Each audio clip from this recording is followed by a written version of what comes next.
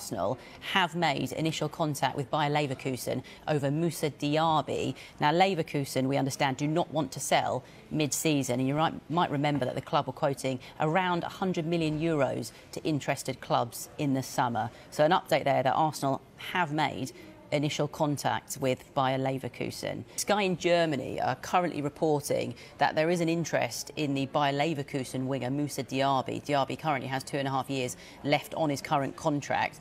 Arsenal are also keeping an eye on Raphinha's situation at Barcelona, although it is likely he will stay put in this window. Dan, you were, I suppose, looking at some stats around Moussa Diaby. Does, does that make sense for you?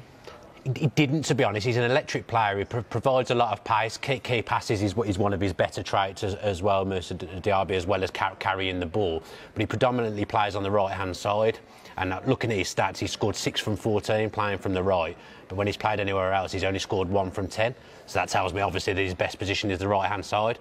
Saka is Arsenal's main man. Saka is Arsenal's number one player. If you're signing someone like Diaby, he isn't going to be playing in that position, so would you be getting the best out of him? Now, Arsenal, obviously, we're looking at Mudryk, who plays on the left-hand side predominantly.